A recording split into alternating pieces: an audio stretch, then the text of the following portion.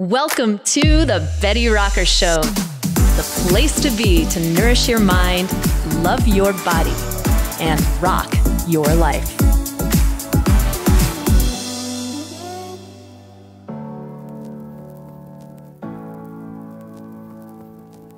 What's up, rock stars? Coach Betty Rocker here. I hope you're having an amazing day. Thank you so much for joining me. Now, you've probably heard me talk about the four pillars of health. But what do these really mean for you and how do they impact your success and ability to see results in a training program or, you know, basically shift your body composition to maybe more muscle and less fat? The thing about the four pillars is that they work together. So, how they came to my mind was I pictured sitting on a chair, and the chair had four legs, and the chair needed the, all four legs in order to, to stand up and balance correctly.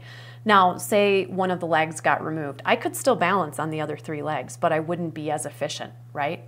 And say I lost two of the legs. Well, I could still balance on the other two legs, but I would be way less efficient. And of course, you can balance on one leg too, but you're even less efficient than you are with that nice, supportive, stable four pillar base of your chair.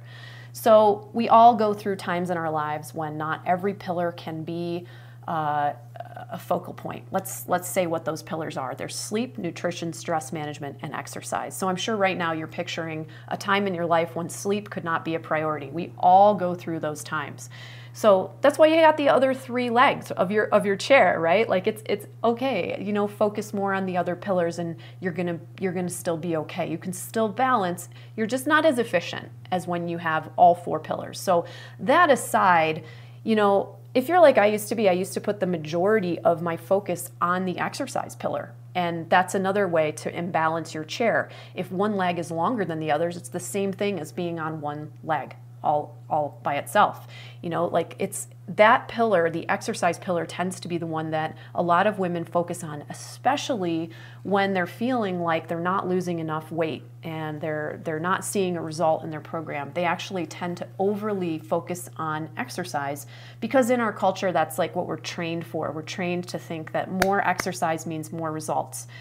And it can mean more results if and only if you're surrounding the exercise with these other pillars, with these other actions that create an optimal state in your body for fat loss to occur, if that's the goal, and or muscle tissue to develop, strengthen, or be preserved, if that's the goal. So the reason sleep is so important, we talked about sleep a minute ago, but it's it's actually number one on my list um, because without sleep, you're really, really running in like a deficit for being able to restore, repair, and recover from the training that you do, even from your daily life stresses, from you know your day-to-day activities and energy output. If you need to choose which pillar to focus on first, this would be the one I would choose every time because it's really the most essential uh, part of our day. I mean, everybody has to sleep at some point. So, thinking about the optimization of sleep can help you optimize all of these other things in your life. Without enough sleep, you um, won't have as balanced and healthy of a metabolism. It, it impacts your glucose tolerance if you're not getting enough sleep, which means it's harder for you to lose body fat. And sleep the timing of your sleep, the duration of your sleep, and the quality of your sleep all play a huge role in the hormones that govern your appetite regulation. So, your hunger and fullness are really skewed and thrown off if you aren't getting enough sleep. And this is why a lot of people, when they aren't eating, when they aren't getting enough sleep, they're they're overeating. They're having cravings for carbs and sugar um, because literally that lack of sleep skews our ghrelin and leptin. That's your hunger and fullness hormones, and you're you just don't have that same regulation. It also impacts your cortisol levels. Your that's your stress hormone, um, and it's it's cortisol is not a bad thing in our system. In fact, it's on a really important cycle throughout the day, just like melatonin, which you may have heard of, which helps you fall asleep and, and stay asleep. And melatonin has a cycle where it, it peaks um, after dark and helps you start to get sleepy. And you can really mess with your melatonin by staying on your screens and on your devices too late. This will make it really hard for you to, for melatonin to do its job, for melatonin to make you sleepy. This is why a lot of people don't get good deep sleep. Cortisol actually has its own cycle too, which is complementary to melatonin. It starts to rise um, a little while before you wake up. It helps you wake up. It's help it's what helps you become alert in the morning when you're when you're awake. Now, if you're constantly going to bed too late, you may wake up feeling tired and groggy because you haven't gotten into that deep sleep that you need. And if cortisol starts to get thrown off and it's too low or too high, uh, you'll start to feel maybe tired but wired, or you'll start to have some impact to your adrenal hormones. And that's problematic, especially over time. Just like too much cortisol in your system is problematic over time. Um, you won't be able to focus and perform at your best or recover as quickly, and you also won't get to experience the benefits of the human growth hormone, human growth hormone elevation, which promotes um, the restoration repair of your muscle tissue and the um, it, it helps reduce body fat. So I really encourage you to focus on getting to bed on time as just as important a piece of your day. If you're focused on getting your workout in and you're someone who really makes a priority to get your workout in, but you don't make it a priority to get to sleep on time, you're kind of undermining all of that hard work that you're putting in. So do whatever it takes to get yourself to get better sleep whenever possible. Remembering, of course, that we all go through seasons in life where sleep maybe or one of the other pillars can't be the focal point. We just can't we can't beat ourselves up if we're in a season of life where it's just not a possibility. However if it is a possibility and you're doing things that are sabotaging your sleep it's time to pay attention. Time to wake up and pay attention to getting to sleep getting better sleep. You can really focus on reducing your exposure to blue light especially before bedtime uh, doing things like you know a sound machine or fan or something that helps create a sound barrier so you get deeper sleep. Keep light exposure away from your eyes using a sleeping mask or blackout blinds. Um, lower the temperature in your room so that your body can really cycle down and get cooler. I use something called um, a chili pad, which is uh, from this cool company that makes these mattress toppers that circulate water through the, the mattress topper that I can set to like 65 degrees, and that helps me, especially in perimenopause when my body temperature might be fluctuating more frequently. There's all kinds of things out there like that that you can check out. I also, for a while, I part of why I know all this stuff about sleep is because I struggled with getting to sleep on time for years. I worked in the hospitality industry, restaurants, bars, and I was up so late. It put me in the habit of not going to bed until like one in the morning a lot of the time, and sometimes later. And that was really detrimental to me and my energy levels and my ability to regulate my, my body fat, build muscle, all of it.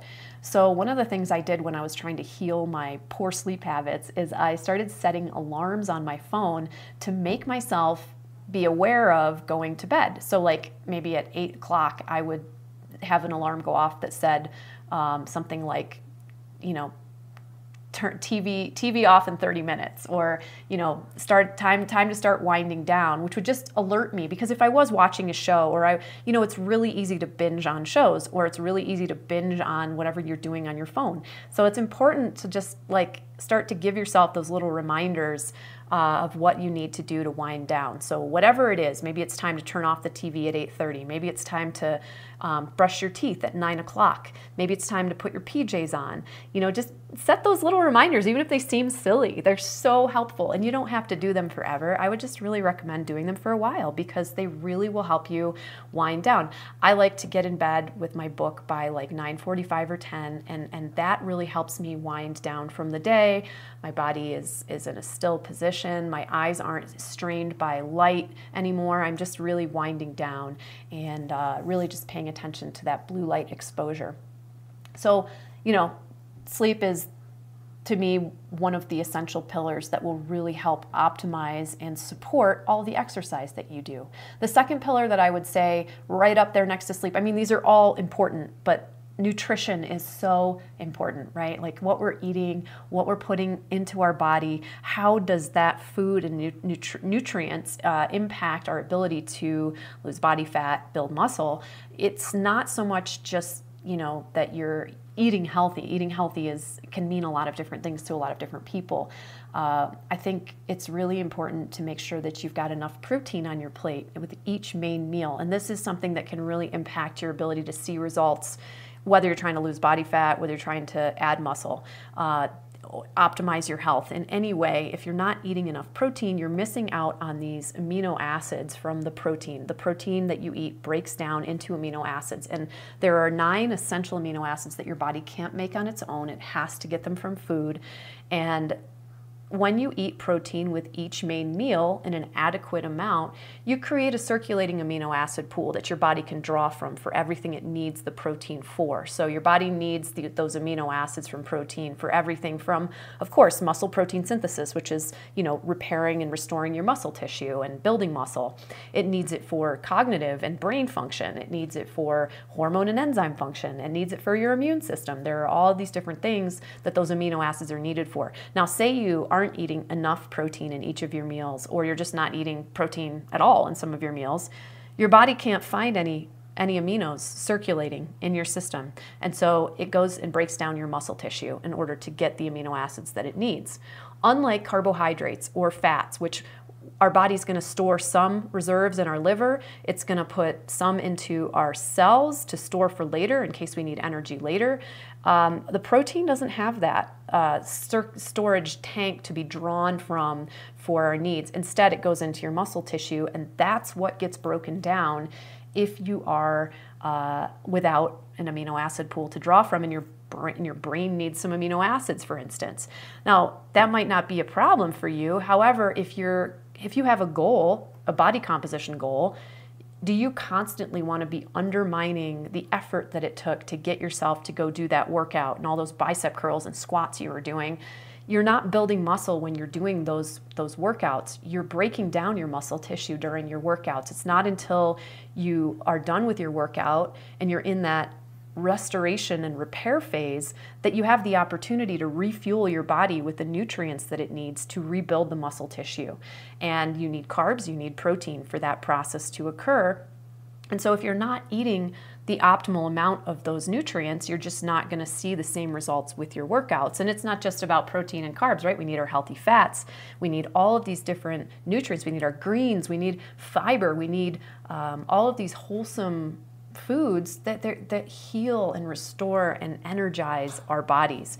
And I, in my programs, I don't really focus on calorie counting. Um, I certainly can see how it can be a valuable strategy for, for people at different times, um, but more so just because I think it's important to understand the, the nutrient density of your foods. So, taking a look at how many grams of protein are in your meals is a great place to start. Um, I don't think you need to track every gram, every calorie.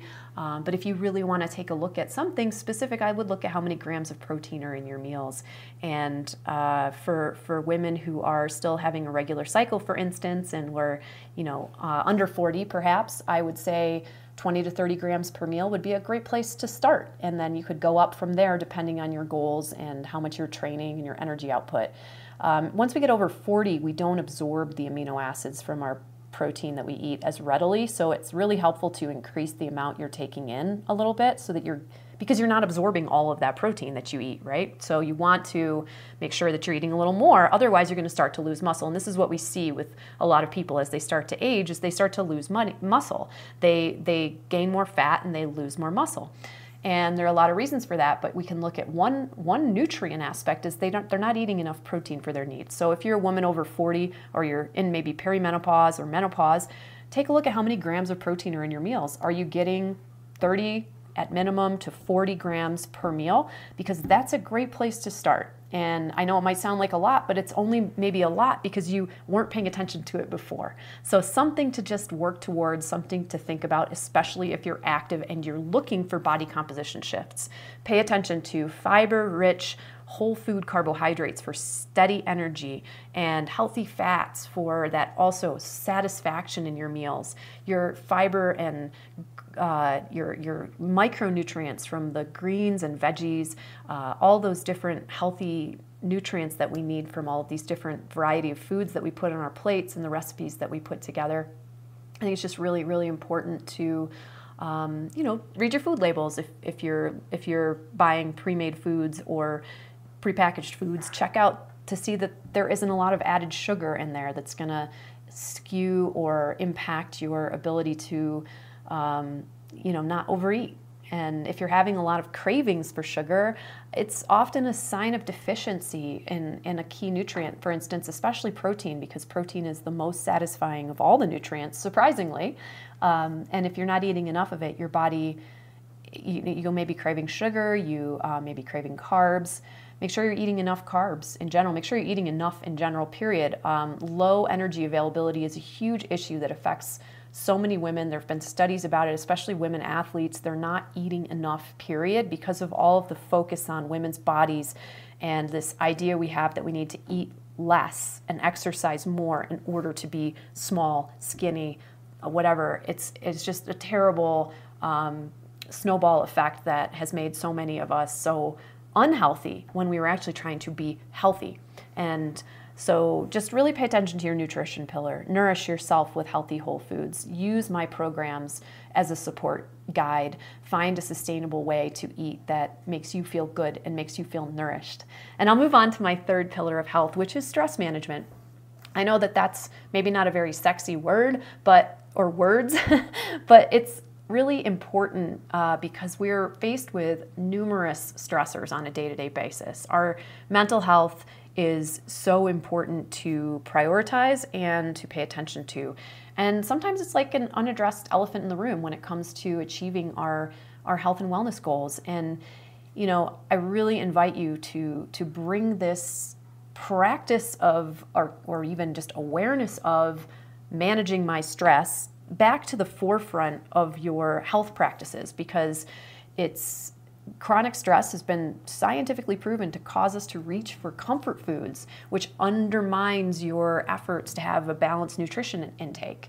Um, elevated levels of that stress hormone we talked about earlier, cortisol, causes belly fat storage, the area where most of us have the hardest time losing our fat from, especially women, just genetically. And, and chronic stress really affects our brain. It lowers our immune response, so we get sick more often, we recover more slowly from injuries, and we're just really unable to maintain a state of health and vitality.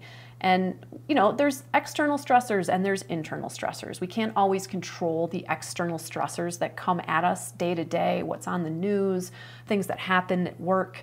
Um, working on strengthening our ability to be resilient to stress is a really good practice to have. Just like you train regularly in the gym, and that gives you more resilience and strength to handle all your day to day activities, having a regular, maybe stress management or mental health practice, anything that makes you feel that it, anything that appeals to you, it can really help you build your resilience to dealing with those external stressors. And then we also have internal stressors.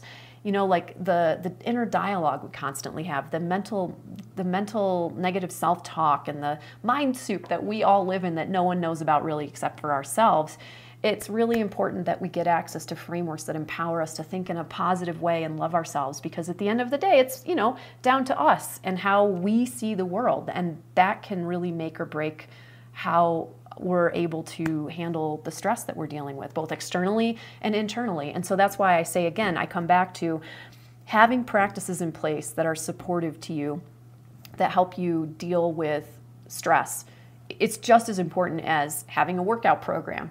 So, you know, you can do breathing practices, you can walk, you can do sitting meditations, you can listen to relaxing music, you can journal, you can go to therapy, you can join a supportive community, you can work with a coach, um, you can draw, paint, do yoga. There's so many possibilities, but your intention and your approach to these different practices and the fact that you actively make time to connect with yourself internally in a way that is supportive of you and uh, is helpful so that you you can you can feel your best inside and out. And you have that resilience we were talking about to deal with the stress that comes at you day to day and to help you manage the internal stressors that you may feel in your in what you're thinking about in your thoughts there's a lot to be said also for facing and working with um, the, the, the, the different uh, trauma that we've experienced in our life. And in therapy, it's a great way to, to work through difficult feelings and emotions because they really do play out over time and impact us and create internal stress. And we don't always realize why we're being so reactive to things. And it's because we're running a program from, from having to had to respond to something very difficult. And that's totally normal to experience as a human being, and you deserve to have the tools and the resources and the support for, um, you know, coping with those things. You're not supposed to have to figure all this out on your own. So give yourself permission and and give yourself that opportunity to to get the support that you need if you are dealing with those types of internal stressors, and and also look for ways to practice, you know. Um, relaxing your mind. Meditation is such a wonderful tool and there are so many different ways to do it. Breathing techniques, um, like some of those other examples I was giving you, I threw out a lot of them, but they're because that's because different things work for different people, and there isn't one a one size fits all approach to really managing your stress. But I do think that it's just as important as as fitting in your workout. You know, taking that time for yourself, just tuning in to how you're feeling. You could do it right now. You know, you could just breathe for a few moments and close your eyes. You can pause the podcast and just check in with yourself. How am I doing right now? How am I feeling right now? And, and just honor that, honor your feelings, and, and continue to um, make, make your stress management an important pillar in your life, just like getting to bed on time is, just like your nutrition is and, and having healthy foods to eat is, just like your exercise is. And speaking of exercise, exercise is so amazing and it is one of our pillars for a reason. You know, it's a natural stress reducer as long as we're not overdoing it. it's it's it, can help lower depression and anxiety, and it, it can um, just also help you have a strong, healthy body. Uh, it gets your blood flowing and just helps you think and focus and um, it just it's so so good for us. So i really encourage you to have a regular exercise practice. And hey there are times in your life where you won't be able to have a regular exercise practice. There will be seasons in your life where you can't work out whether you got injured. Maybe you just had a baby. Um, there's so many different things that can happen that we need to take a break from exercising but that doesn't mean we have to stop paying attention to our other pillars of health whenever possible. Um, we have to remember that they all work together symbiotically, so synergistically. And, and without the other pieces, your, your exercise won't be as effective. And I think that's the point I want to just really make is that if you're overly focused on exercise, you're really not getting the best out of the exercise that you do. If you don't surround your workouts with the healthy eating, with the good sleep, without the stress management piece, you won't create an optimal state in your body for fat loss to occur, for muscle tissue to develop. And that's why it's important if you do have these body composition goals or these these goals and you want to see these results that you're not just focused just on your workouts. And it's not just about like how little you eat and how much you work out. You know that can really stress your system out and increase the amount of cortisol that's running through your body causing more muscle to break down and causing more fat to store because that's what cortisol can do and it's elevated for too long. And if we're overly stressed out you know we're also causing cortisol to rise. If we haven't sleep slept enough we're um, have these imbalanced hormones, and so we're we're not creating an optimal state for the body to do its restoration and build muscle and burn body fat. So I know that this four pillars approach it. I don't want you to. I don't want you to stress out because you're like, I'm not doing the four pillars perfectly. Remember that we all go through seasons in life where they can't all be the focus, right? They have we have to have like that all or something approach to the way that we live our lives. These are just four things that work together to help you in your life optimize your health. And if you have fitness goals, these will help you optimize your fitness goals as well. So just do one thing at a time that you can. Maybe today you want to commit to setting a timer on your phone to help you get to bed just a little bit earlier. Or maybe you want to, maybe you're like, oh my gosh, I watch a lot of TV before bed. Maybe I'll cut my screen time in half tonight. Just commit to doing something that can help optimize one of these pillars of health for yourself and think about what that might be. Thank you so much for joining me today to talk about all this stuff. And I, I'm so thankful for you being a part of my community. Thank you so much for being here for this conversation. And if you want to continue the conversation, hit me up on social media. I'm on Instagram at the Betty Rocker. I'm on Facebook. I'm on uh, YouTube. You can find me on my blog and read uh, more about a lot of these topics, the four pillars of health, more in depth about protein, especially protein for women, um, body composition topics, um, herbal supplements, all these different things. You can find them all over on the BettyRocker.com blog. And I hope that you'll read them. They're all free articles. And I just want you to have this information information so that you can live a long, healthy life in a body that you love. As always, I'm Betty Rocker, and you are so awesome, blossom, and amazing. I hope you have a great day, and I'll talk to you again very soon. Bye for now.